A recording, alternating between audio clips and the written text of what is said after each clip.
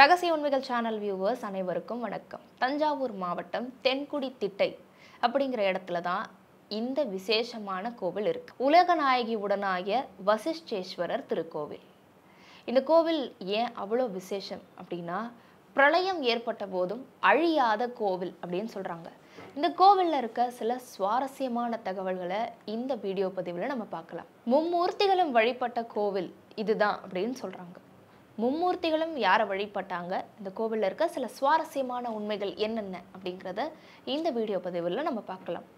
தஞ்சாவூர்லேருந்து ஒன்பது கிலோமீட்டர் தூரத்தில் இந்த கோவில் அமைந்திருக்கு. தென்குடி திட்டை அப்படிங்கிற இடத்துல. உலகநாயகி உடனாய வசிஷ்டேஸ்வரர் திருக்கோயில் அப்படின்னு சொல்லப்படுது. அதாவது ஒவ்வொரு யுகம் முடியும் பொழுதும் ஒரு பிரளயம் ஏற்படுமா? அந்த பிரளயம் உலகத்தில் இருக்கிற எல்லா உயிர்களையும் அழிச்சிட்டு எல்லாத்தையுமே உலகத்தில் அழிச்சிட்டு திரும்ப ரிஃப்ரெஷ் பண்ணுற மாதிரி ஒரு புது யுகம் தொடங்கும் அப்படின்னு சொல்கிறாங்க அப்படி ஒரு பிரளயம் இதற்கு முன்னாடி ஏற்பட்ட பொழுது உலகத்தில் இருக்கிற உயிர்கள் எல்லாம் அழிஞ்சிடுச்சு. ஒரு மிகப்பெரிய வெள்ளம் ஏற்பட்டது.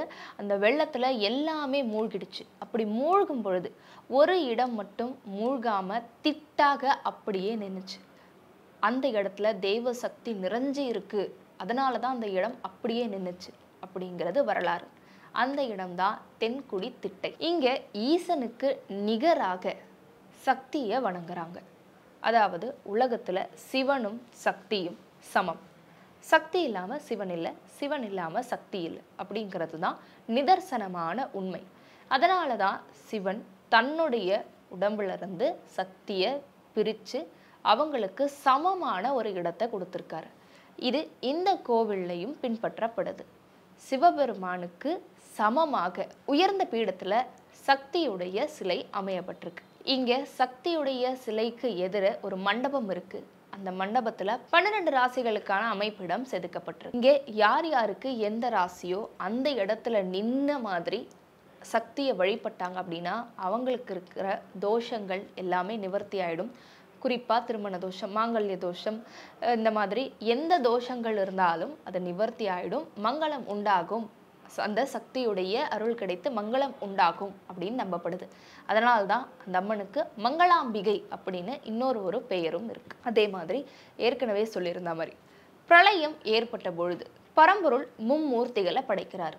அதாவது சிவன் விஷ்ணு பிரம்மன். சொல்லிட்டு மும்மூர்த்திகளை படைக்கிறார். இந்த மும்மூர்த்திகளை படைத்து அவங்களுக்கு படைத்தல் தொழில் காத்தல் தொழில் அழித்தல் தொழில் அப்படின்னு சொல்லிட்டு இந்த மூன்று தொழில்களை நிர்ணயிக்கிறார். இந்த மும்மூர்த்திகளும் பிரளயம் சமயத்தில் மாயையினால சூழப்பட்டிருந்த இந்த மும்மூர்த்திகள் பிரளயத்தை பார்த்து பயந்து போய் இருக்கிறாங்க. அப்போ பரம்பொருளான ஈசன் தன்னுடைய உடுக்கையை வைத்து ஒளி எழுப்பி அவங்களுடைய பயத்தை நீக்கி அவங்களுக்கு அருள் பாலிக்கிறார். இப்படி இந்த மும்மூர்த்திகளும் வழிபட்ட இடம்தான் இந்த தென்குடி திட்டை அப்படின்னு சொல்லப்படுது.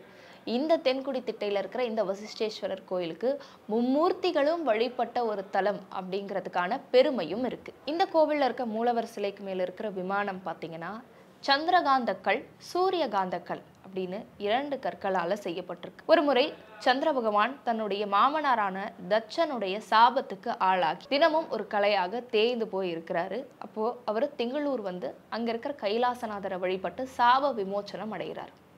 இந்த சாப விமோச்சனத்துக்கு நன்றி செலுத்தணும் அப்படின்னு சொல்லிட்டு இந்த வசிஷ்டேஸ்வரர் திருக்கோவிலுக்கு வந்து அவர் நன்றி செலுத்துறாரு. அந்த நன்றியை காட்டும் விதமாக மூலவருக்கு மேலே சந்திரகாந்த கல்லாக சந்திர பகவான் இருக்கிறார். இந்த கல்லுக்கு என்ன ஸ்பெஷாலிட்டி அப்படின்னு பார்த்தீங்கன்னா காற்றில் இருக்கிற ஈரப்பதத்தை ஈர்த்து நீராக மாற்றி மூலவருக்கு மேலே ஒரு ஒரு நாழிகைக்கும் ஒரு முறை ஒரு ஒரு சொட்டாக இது அபிஷேகம் செய்யும் அப்படின்னு சொல்லப்படுது. அதாவது இருபத்து நான்கு நிமிடங்கள் ஒரு நாழிகை. இந்த கோவிலில் பார்த்தீங்கன்னா இருபத்து நான்கு நிமிடங்களுக்கு ஒரு முறை ஒரு சொட்டு நீர் இந்த கல்லிருந்து மூலவர் மேலே படுமாம் அபிஷேகமாக. இந்த மாதிரி இன்னும் நிறைய சுவாரஸ்யமான ஆன்மீக கதைகளோட தகவல்களோட அடுத்தடுத்த வீடியோஸ்ல நான் உங்களை சந்திக்கிறேன். Until then it's bye from Soundarya Sivaraj.